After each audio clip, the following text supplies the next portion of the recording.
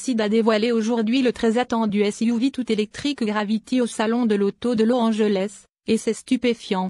Cela fait forte impression, mais cette notion vient du style et non de la taille. La forme du Gravity est douce et élégante, avec une ligne de toit inclinée qui se rétrécit subtilement en un gracieux béquet arrière. Lucide affirme que le coefficient de traînée sera inférieur à 0,24 lorsque la suspension pneumatique disponible est à sa hauteur de croisière sur autoroute, ce qui est du jamais vu dans cette catégorie. Le Gravity n'est pas particulièrement grand et sa longueur totale serait plus courte qu'une Audi Q7. Elle est cependant incroyablement spacieuse à l'intérieur, grâce au même moteur électrique compact et à la batterie centrale surbaissée qui confère à la berline lucidaire sa ligne de toit basse. L'empattement du Gravity est plus long que celui de l'air d'une quantité non précisée, et la batterie à deux niveaux trouvée sous le siège arrière d'un air a été décalée vers l'avant sous les sièges avant du Gravity, qui devait de toute façon être positionné plus haut à la manière d'un véritable SUV. Grâce à ces changements, l'équipe de conception de Gravity a pu réoptimiser à bon escient la base de la plateforme déjà à basse, offrant un volume intérieur surprenant sans avoir besoin d'un toit très haut. Il s'agit d'un toit en verre donc ça aide, en conséquence, les trois rangées peuvent accueillir confortablement des adultes et l'accès est simplifié par des portes latérales à grande ouverture. En fait, de l'arrière s'ouvrent à 90 degrés. Au niveau du hayon, le plancher est inhabituellement bas, même parmi les multisegments, avec des sièges de troisième rangée qui se replient et disparaissent complètement dans un puits de rangement arrière, semblable à une mini-fourgonnette. En raison de la faible hauteur de la batterie, les sièges de la rangée du milieu sont également articulés, ce qui signifie qu'ils peuvent se replier à plat au même niveau. Au total, l'espace de chargement maximum du modèle à 7 places dépasse 112 pieds cubes, tandis que la version à 5 places atteindra 120 pieds cubes. Pendant ce temps, le véhicule lui-même mesure moins de 6 pieds de haut. Mais il y a plus. Le Gravity a un coffre avant et peut contenir plus de 8 pieds cubes. Le bord inférieur du capot, s'étend suffisamment bas pour que deux adultes puissent entrer dans le coffre, ou peut-être le nez, à l'aide du coussin de siège accessoire proposé par Lucide. Ils ont même moulé des portes-gobelets dans les flancs de la doublure du coffre. Au lancement, tous les SUV Lucide Gravity seront équipés d'une version de la plateforme de transmission intégrale à double moteur qui propulse les modèles Dream Edition, Grand Touring et Touring de la berline. Aucune liste spécifique de puissance de sortie Gravity ou de taille de batterie n'a été révélée, mais Lucid a déclaré qu'il utiliserait une évolution de l'architecture 900 volts de la marque. Ils affirment également que la variante la plus performante offrira une autonomie supérieure à 780 km et sera capable d'atteindre 100 km par heure en moins de 3,5 secondes. Ils affirment également que son taux de charge rapide d'essai ultra rapide reconstituera 340 km d'autonomie en seulement 15 minutes. À titre de référence, l'air Dream Edition était évalué à 1111 chevaux et à 900 km d'autonomie, et son temps revendiqué de 0 à 100 km par heure était de 2,5 secondes. À supposer que tout le reste soit égal, l'autonomie réduite et l'accélération moins époustouflante du SUV semblent tout à fait compréhensibles en raison de sa ligne de toit plus haute et de sa forme plus carrée. Il ne fait aucun doute que son poids est également plus élevé.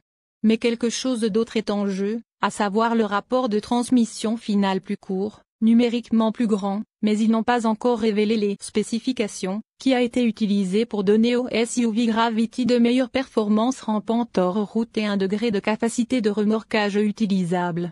Ce dernier pèse 6000 livres, tandis que le premier est aidé par une suspension pneumatique Zero Gravity en option qui offre au moins 4 modes de hauteur. Les réglages tout-terrain élevés sont des sélections manuelles du conducteur, tandis que les réglages inférieurs dépendent principalement du mode et de la vitesse. Quant au reste de la suspension, nous avons pu confirmer visuellement la présence du même type de suspension avant à 5 bras que l'on retrouve sur la berlinaire, mais l'arrière était effectivement caché par un capot arrière complet et un diffuseur aérodynamique. La suspension arrière à liaison intégrale de la berlinaire semble cependant peu probable.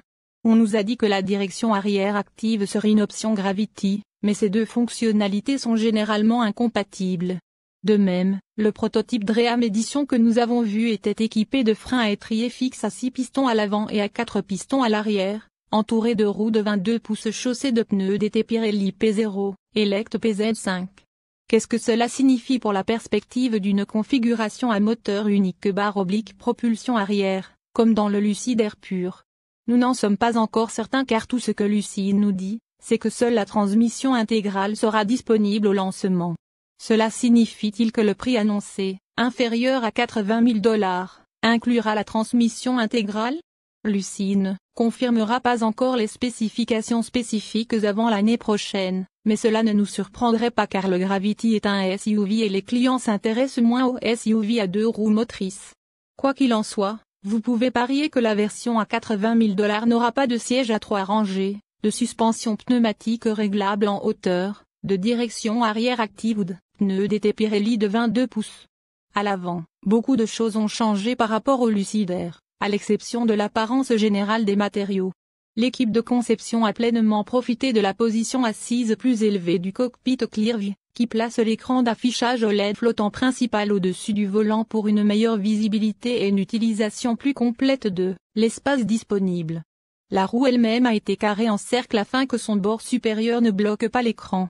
Nous n'avons pas encore conduit la Gravity, mais tout cela est parfaitement logique et semble attrayant depuis le perchoir du conducteur.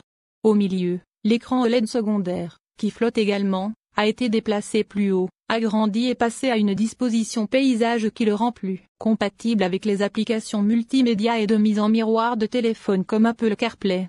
Son bord inférieur métallique contient toujours des boutons physiques pour les réglages CVC et le rouleau de volume monté au centre de l'air.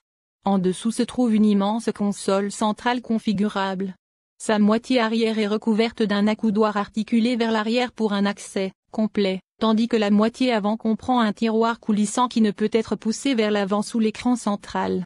Les modules mobiles que Lucide appelle Bento sont conçus pour être retirés ou reconfigurés selon le souhait du propriétaire. Le Gravity propose également un affichage tête haute, quelque chose que l'air n'a jamais eu. C'est plus qu'une simple projection de vitesse et, d'autres éléments d'intérêt, car elle inclut également des indices de réalité augmentée. Ce système laser peut projeter les lignes de voie et la position de la voiture qui précède, même si la route est partiellement obscurcie par le brouillard ou la pluie. Lorsque le guidage est actif, il vous indique également un virage, confirme que vous êtes sur la bonne voie et vous prépare pour le suivant. Tout cela est alimenté par un nouveau système d'exploitation U3.0 que Lucide a développé en interne. Il regroupe toutes les fonctions ci-dessus, dans le but de rendre tout facile à utiliser, peu distrayant et même agréable. Une partie de cette réflexion peut être vue sur le volant réinventé, qui est doté de commandes à glissement actionnées par le pouce sur chaque rayon.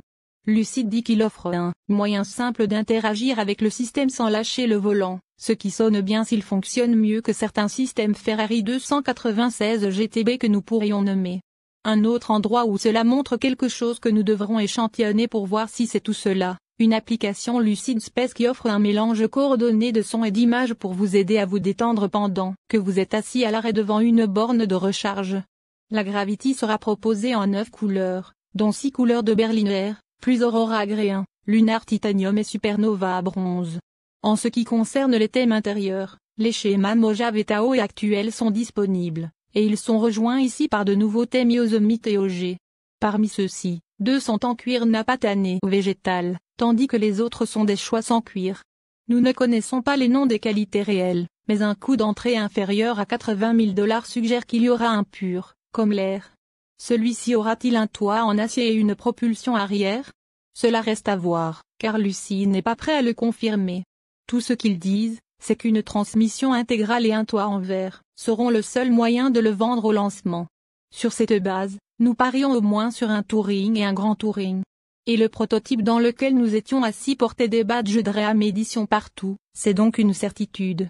En effectuant un zoom arrière, le Gravity est un grand SUV très convaincant et magnifique. L'efficacité du groupe motopropulseur, l'architecture de charge rapide et l'autonomie exceptionnelle du Lucide devraient en faire une excellente machine de voyage sur la route.